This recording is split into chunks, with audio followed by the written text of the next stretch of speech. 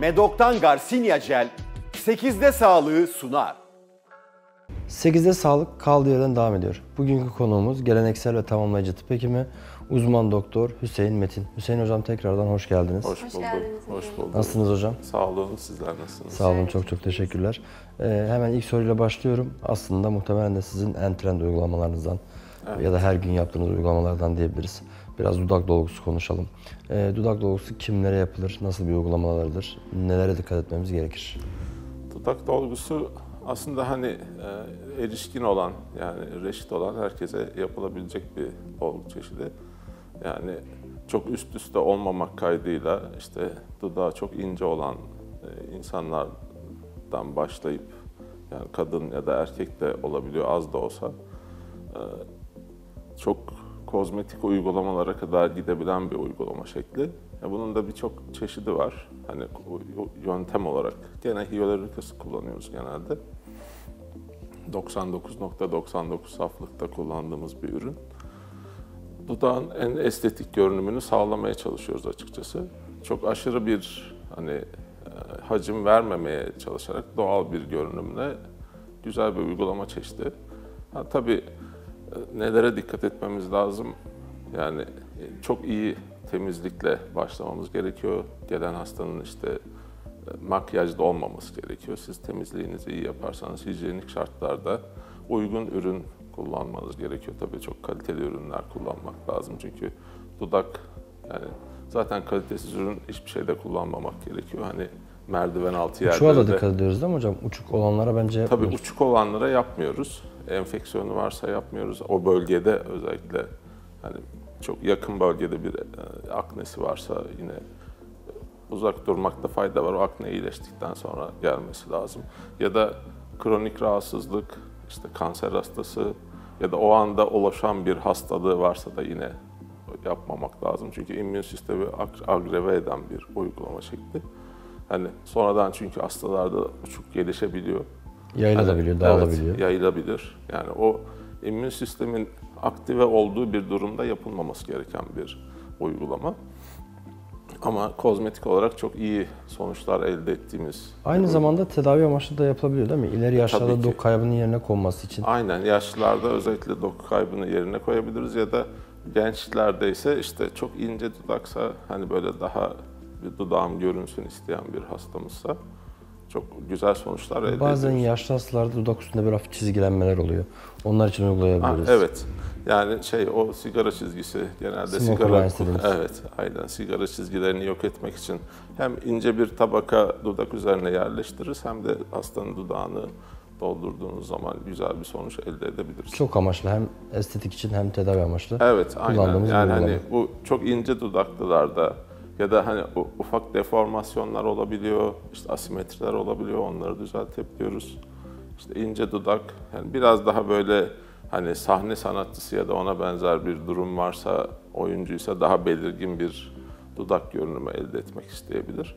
Onu da hani belirli aralıklarda tekrarlayarak yapmaya çalışıyoruz. Yani uygulama olarak güzel bir uygulama. Ha, komplikasyonları oluyor mu? Çünkü dudak çok kanlanan bir bölge. Hani iğne giriş çıkışıyla yaptığımız bir işlem olduğu için ufak tefek kanamalar olabiliyor. O hani morarma şeklinde kendini ortaya koyuyor. O zaman da değişik ilaçlar verip onu tedavi edebiliyoruz. Hocam çok duyuyoruz, az çok da biliyoruz. Biraz burun dolgusundan bahsetmek istiyorum. Burun dolgusu nedir, kimlere yapılır, komplikasyonları var mıdır ya da nelere dikkat etmek gerekir? Burun dolgusu hani hastanın burnunun durumuna bakıyoruz ilk önce. Yani yine erişkin yaşta olan bir kişi olması lazım. Yani çocuk yaştaki herhangi bir kişiye uygulama yapmıyoruz ya da işte kanser hastası, o bölgede gelişmiş bir enfeksiyon ona benzer bir şey varsa uygulama yapmıyoruz. Burnu esnek olması lazım. Hani düzeltilebilir bir burun. Genelde ameliyatlı burunlara da hani çok dokunmamaya çalışıyoruz. Çok elzemse böyle bir kenarında köşesinde bir şey varsa yapılabilecek bir işlemse genelde Hafif yapmaya dokunuşlar. Evet, hafif dokunuş şeklinde yapabiliyoruz. Burun esnekse burnu hafif yukarıya kaldırabiliyoruz. Burun köküne kadar hani onun bazı dikkat edilmesi gereken durumları var. İşte burun hani benim kendim yaptığım uygulamada genelde ben hani yöntem olarak daha iğneli değil de daha kanüllü bir işlem yapıyorum. Çünkü yukarıya doğru çünkü kanlanması fazla olduğu için o bölgede iğneyle yapacağınız şeyler bir iki gün sonra hafiften nekroza dönüş yapabilir. Onu olmamasını sağlamak için genelde kanülle giriyoruz. İyi bir uygulama çeşidi böyle ameliyat gibi sonuçlar elde edebiliyoruz. Ve yani kalıcılığı da iki yıla kadar gittiği için bence güzel bir uygulama oluyor. Çoğu zaman da hani ameliyat gibi sonuçlar elde ettiğim oluyor yani %90 üzeri. Çok güzel. Hocam biraz da jawline uygulamalarından bahsedeceğim. Bu da son dönem çok trend. Özellikle çene hatlarında dalgalanmalar olanlarda ya da çene ucunu daha belirgin hale getirmek için. Ee, kimlerde uyguluyoruz? Ee, herhangi bir sıkıntı oluşur mu?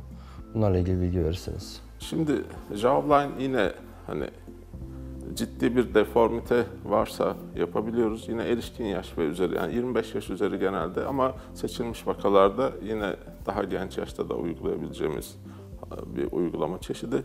Yani çene ucundan başlayıp arkaya doğru yani hastalarda genelde şu bölgede olan buldok görünümünü azaltmak için de kullanıyoruz. Çeneyi böyle geriye doğru çekip buradaki hattı düzeltip öndeki hattı da hani bazen kişinin gamzesi olabiliyor. O gamzenin yok edilmesini istiyor. Hani eğer olabiliyorsa. Çünkü bazen bağ dokusu çok kuvvetli oluyor. Siz orada hani çene ucunu yok edeyim derken bazen gamzeyi belirgin halde getirebilirsiniz. Ama genelde bu bölgeye daha böyle sık bir döşeme şeklinde çok düzgün bir hat oluşturuyoruz. Buradan da geriye doğru hem çene arkasından yani kadın ve erkek görünümü tabii farklı şekilde oluyor. Kadında daha yumuşak bir geçiş. Tabii kişinin isteğine göre de yapıyoruz. Bazen çok maskülen görünmek isteyen insanlar da olabiliyor. O zaman çene bazen daha belirgin hale getirebiliyoruz. Burada eğer daha yaşlıysa biraz daha lifting yaparak, biraz da arka tarafı belirterek çok güzel hatlar ortaya çıkartabiliyoruz.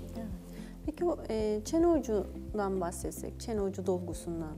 Yani kimlere önerirsiniz? Komplikasyonları var mıdır onun da? Ya bu dolguların hepsinin komplikasyonu sizin iğneyle çalışırken hani damar içine malzemeyi vermenizle ya da vermemenizle alakalı bir şey. Eğer hani anatomiyi iyi biliyorsanız ve işlemi yaparken de gerekli aspirasyon ve kontrolleri yapıyorsanız %99 yani şeyle karşılaşmazsınız komplikasyonla. Yani dikkatsiz davranırsanız işte çok fazla malzemeyi bir anda ortama vermeye çalışırsanız o zaman ciddi sıkıntılar yaşayabilirsiniz. Hatta malzemenin yoğunluğundan dolayı damara baskı yapıp yine damarın dolaşımını engelleyebilirsiniz. Onları böyle hani ayarını düzgün yaparak yapacağınız bir işlem komplikasyonla genelde ufak tefek kanamalar dışında bir şeyle karşılaşmazsınız. Çene ucu, sadece çene ucu çok hani geriye doğru olan çenelerde hani eğer bir maseter bölgesinde bir sıkıntı yoksa, çene esnekse çok güzel sonuçlar elde edebiliyoruz. Ucundan hafiften kenarlara doğru dengeli bir öne doğru çekişle hem bu alttaki gıdı %50 toparlıyor Toparlıyor. hem de çene çok güzel bir görünüm elde edebiliyoruz. Ee, Hüseyin Hocam, e, el tedavilerini şu son dönemlerde görüyoruz. E, el tedavilerinde neler kullanıyoruz? Şimdi elde, elde şöyle, hani el dolgusu dediğimiz el üstü yaptığımız bir dolgu. Yine bu da çok kolay bir işlem. Yani genelde ben hyaluronik asit kullanıyorum ama diğer... Endikasyon olarak daha çok neye Yani gideriyor? endikasyon genelde yaşlılık aslında buradaki endikasyon. Bu el üstündeki damarsal görünümün fazlasıyla ortaya çıkması, aradaki bağ dokusunun erimesi, işte kişinin hani mesela her yeri e, işte çok ciddi bakımlardan geçiyor ama el eğer İhmal düzeltmezseniz el çok kendini çok belli eder. Yani bu da işte genelde 60 yaş üzeri hastalarda hani çok kolay bir işlemdir. Hani kişinin uygulama yöntemine göre değişir. Hani ben genelde kanülle yapıyorum. İşte bir ele genelde 2-3 mililitre yeterli oluyor.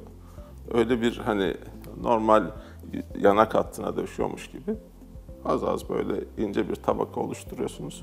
Çok güzel bir sonuç elde ediliyor. Yani iki hafta sonra kontrol ettiğinizde hasta gerçekten elleri 20 yaş gençleşmiş oluyor. Yaşlara bağlı böyle küçük küçük lekeler, lekeler oluşuyor. Onları da açıyor mu? Yoksa ayrı bir mezoterapi mi uyguluyoruz onlar için?